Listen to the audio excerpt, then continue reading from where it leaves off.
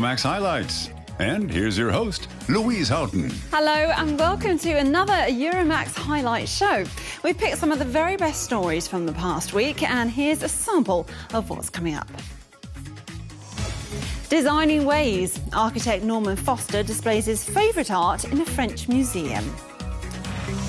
All aboard! The new cruise ship MS Europa 2 makes its maiden voyage.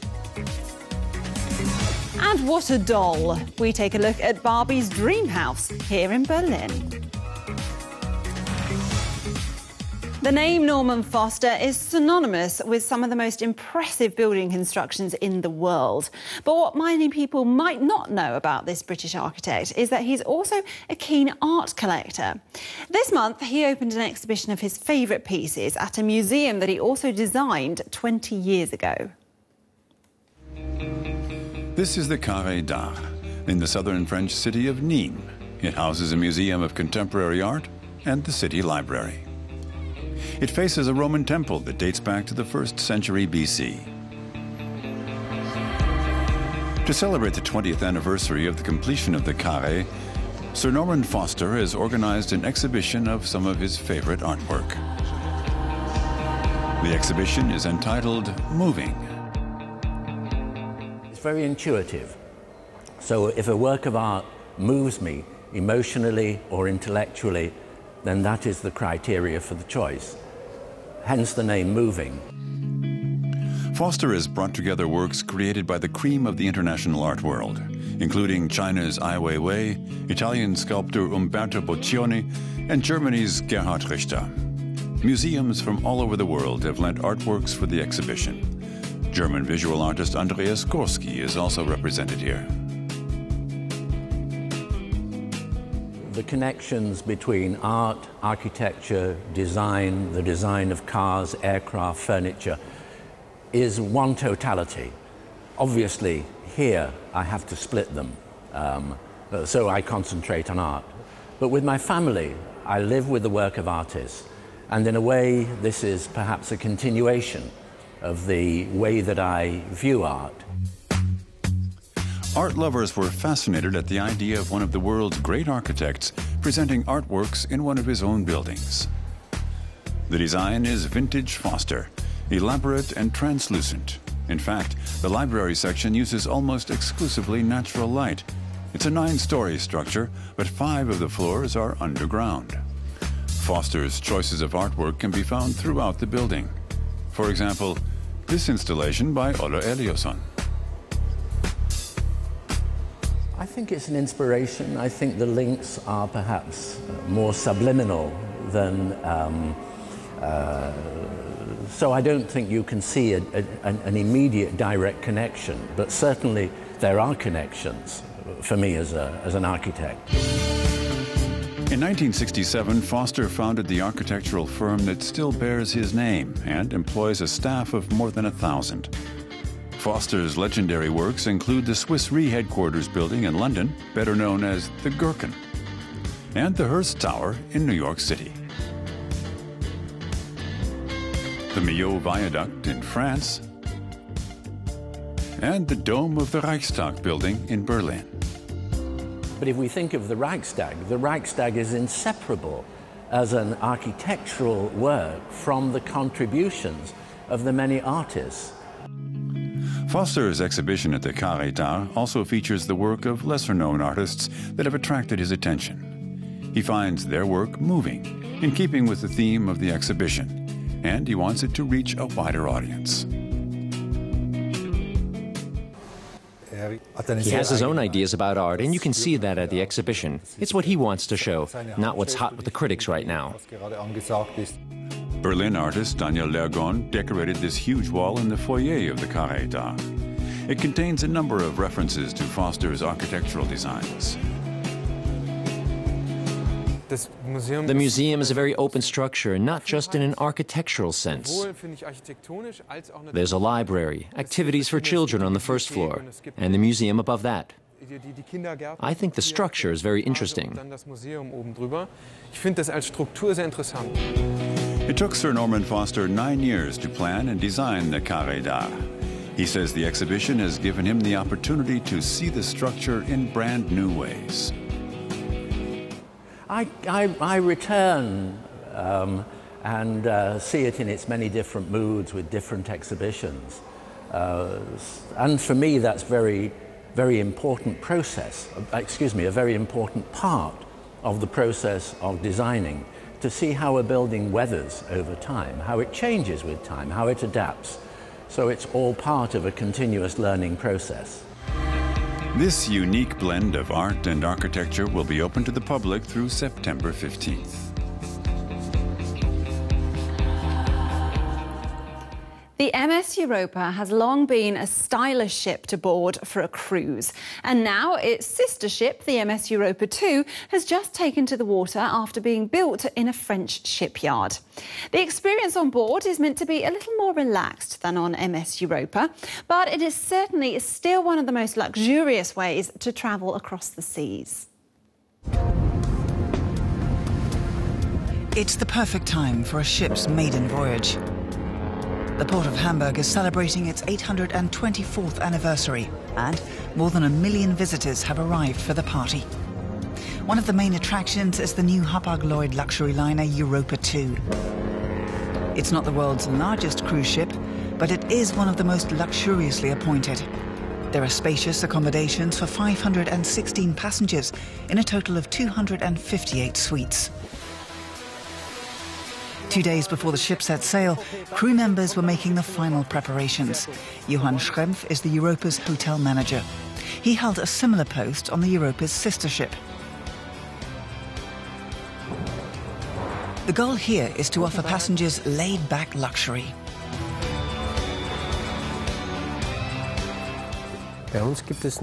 We don't have a traditional captain's dinner or formal receptions.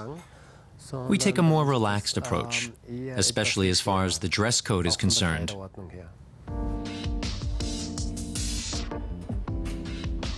Schrempf takes us to one of the ship's two owner's suites.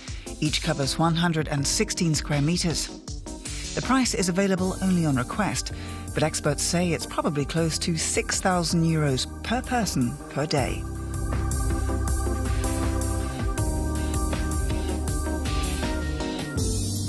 Schrempf is in charge of making sure that all the guest accommodations are in perfect order.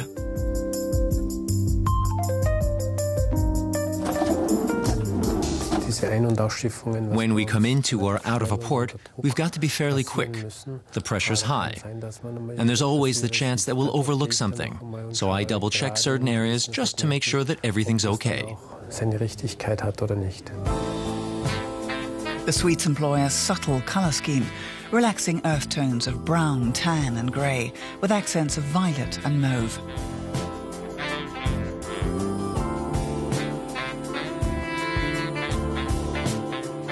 The ship's interior was designed by Kai Bunge and Siegfried Schindler. They're making a last minute check as well to make sure that everything has gone to plan. We've been on board for two days now, checking out some specifics like the settings for the lighting. We did some fine tuning and realigned some of the fixtures so that they properly bring out the interiors. We really do check the smallest details. We have to. The passengers can sense this attention to detail, even if they're not aware of every single aspect. They sense it. And that creates a balanced interior. The spa covers more than 620 metres on deck 5. There's plenty of room, both inside and out on the deck.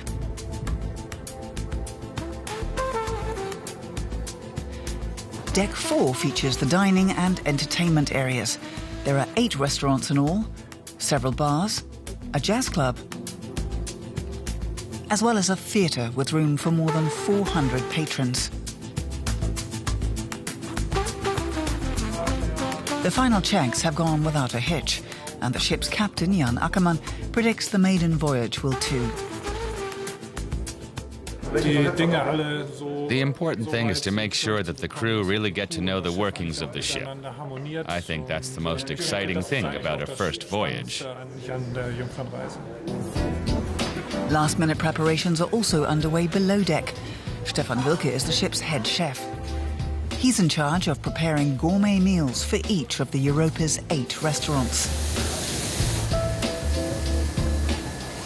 I think I get this from my mother. I'm always at the right place at the right time. The food's ready, and all I have to do is just sit down and eat. That's fabulous. The Europa 2 was officially christened last Friday night.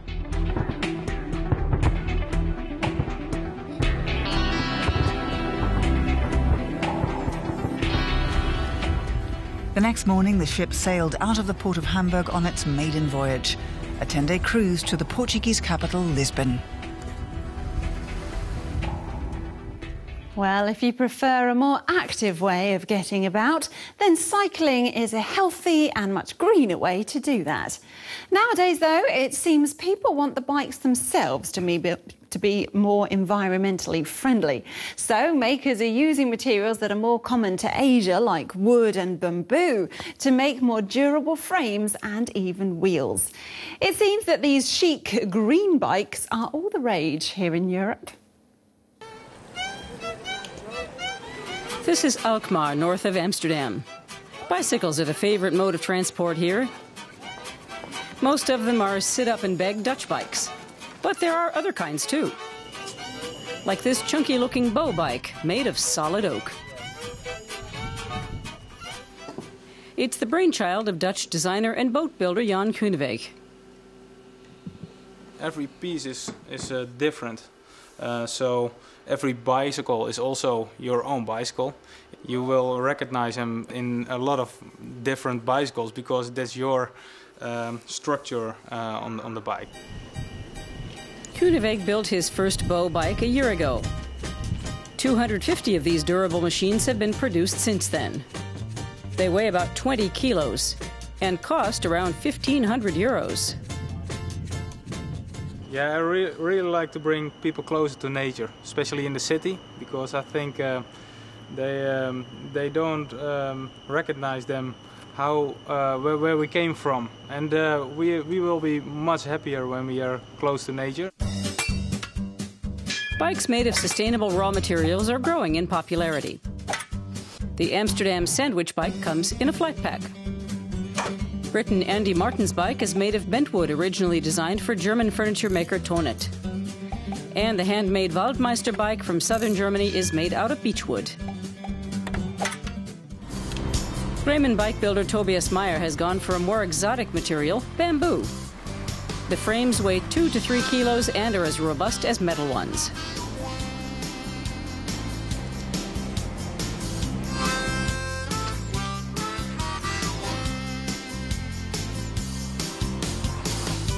And a bamboo bike is certainly an eye catcher.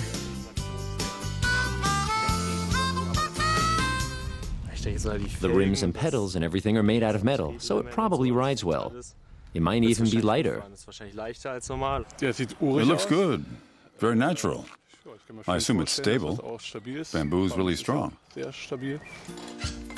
Meyer uses steel lugs and other metal components for his bikes. He's been making them for about four years. It can take hours to choose the right bamboo poles for a frame. If you look at these two poles, for example, they look pretty similar in section, but this one has a much thinner wall thickness. And that means that despite looking similar, these poles would give a completely different riding feel. If I take this pole, the frame would be a bit stiffer. This one would be a gentler ride.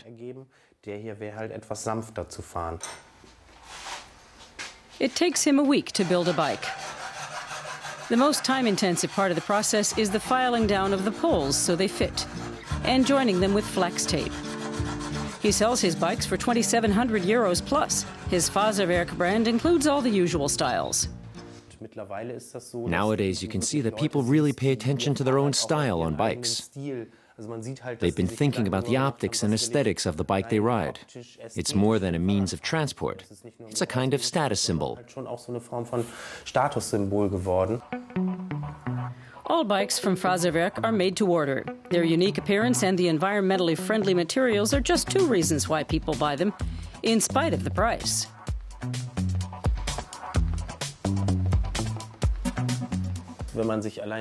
If you look at rising fuel costs, then that's reason enough for more and more people to turn to cheaper alternatives. And bikes are quite clearly the cheapest. It doesn't get much cheaper than this bike made of recycled cardboard by Israeli engineer Izhar Gafni. It only costs 7 euros to make. And the Spanish firm Lola Athe uses old car parts to make its bikes. Back to Alkmaar, where Jan Groeneweg hopes that his sustainably built bike will have a long term impact on those who ride it. I really like that people uh, just relax on this bike. Uh, be moved by nature, and uh, I think it's a wonderful slogan for this bike. Whether it's made of wood, bamboo, or scrap, designers are making green transport even greener with every new idea. Well, from man made materials, we turn to plastic and the toy doll Barbie. There are many who say that her image is plastic as well, and it puts a lot of pressure on young girls to be perfect and glamorous. Barbie's been around for 64 years now, though, and has fans of all ages, many of who have flocked to her new life sized home that's just opened to the public here in Berlin. Barbie has got a foothold on the Berlin property market, but only until the end of August.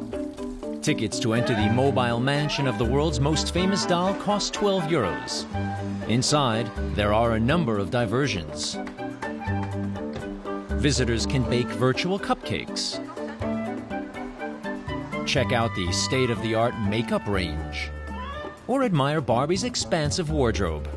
They're also welcome to spend their money in the Barbie boutique. So, what do the customers think? Nice. Wonderful. It's beautiful and pink and big, like a child's dream come true. It's a bit too colorful. For some, Barbie's dream house feels more like a nightmare. Gender studies researcher Stevie Schmiedel has been investigating attitudes towards Barbie. Barbie's been enormously successful because she represents something unattainable. She's tall, blonde, and blue eyed, a stereotype of the unachievable female ideal.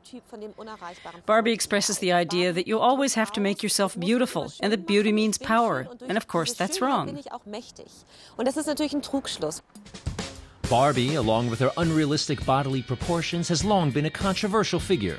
The world's best selling doll first appeared on the market in 1959. She's become world renowned. Bettina Dorfmann from Dusseldorf owns 15,000 Barbies, a world record. 19 years ago, she decided to get some of her old dolls repaired for her daughter. When she failed to find anyone up to the task, she started restoring Barbies herself her collection began to grow. I almost always had Barbie with me when I was a child, and that's what makes it all so much fun for me to relive that period. She always reflects the spirit of the age, and she's slightly ahead of her time. Bettina Dorfmann also owns the oldest Barbie on the planet, worth about 8,000 euros. Ruth Handler, founder of US toy company Mattel, based Barbie on the design of shop mannequins.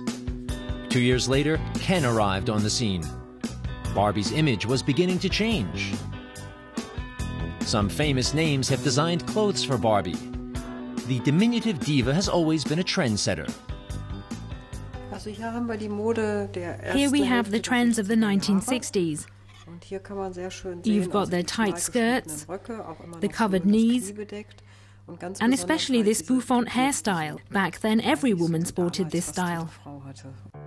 Bettina Dorfmann has turned her hobby into a profession. She curates exhibits like this one in Bergkamen in northern Germany, devoted to fashion and glamour. Various Barbies are on display from all different races and even special editions like film stars Audrey Hepburn and Marilyn Monroe. Barbie has many faces, including the presidential candidate, the astronaut, or the soldier. Bettina Dorfmann thinks criticism is misplaced. Barbie is beautiful. She has ideal proportions. If I take off her clothes, she's just an object. Then she looks like a seamstress's mannequin. And children know that. People don't love Barbie, they love the image and accessories connected to her. And Barbie's glamour is attracting people to the Dream House in Berlin. That's why you'll be hard pressed to find a Barbie in a mechanic's overalls.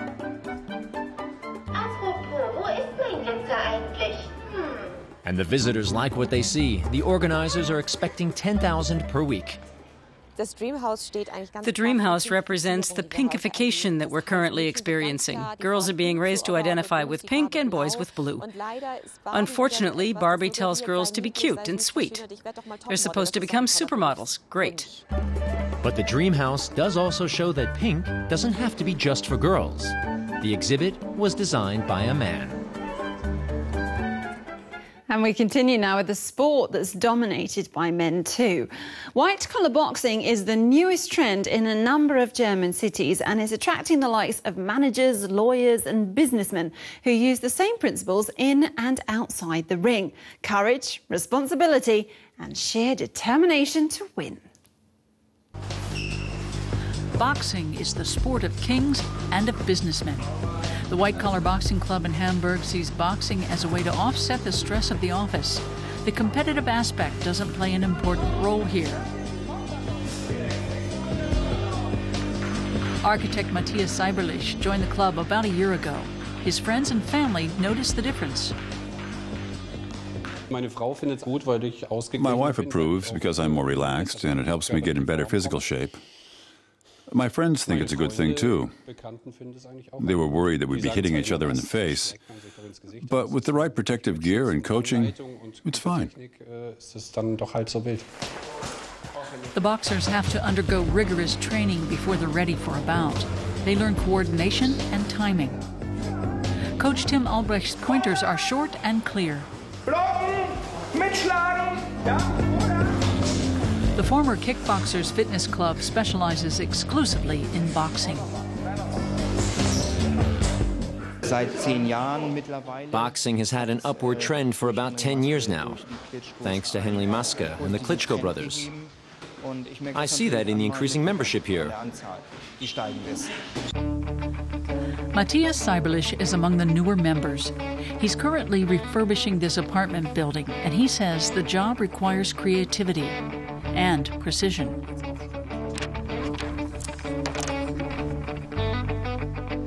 But physical fitness is also important in his line of work. I was struggling with a painful slipped disc for almost nine months, which forced me to cut down my activities so much that boxing turned into a sort of escape from all that. Senior executives and decision makers often face lots of stress and pressure. They have to learn to keep their emotions under control. Psychologist and business coach Dennis Brodbeck advises his clients to learn a combat sport. He also coaches the Japanese martial art Aikido. Don't let the little problems of daily life rattle you. Practice fending off the big ones through sports.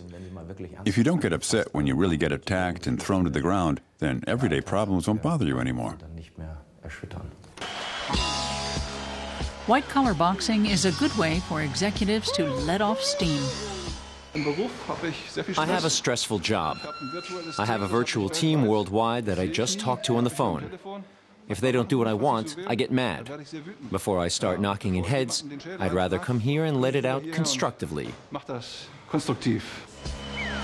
After six months of training, Matthias Seiberlich feels ready for his first sparring match.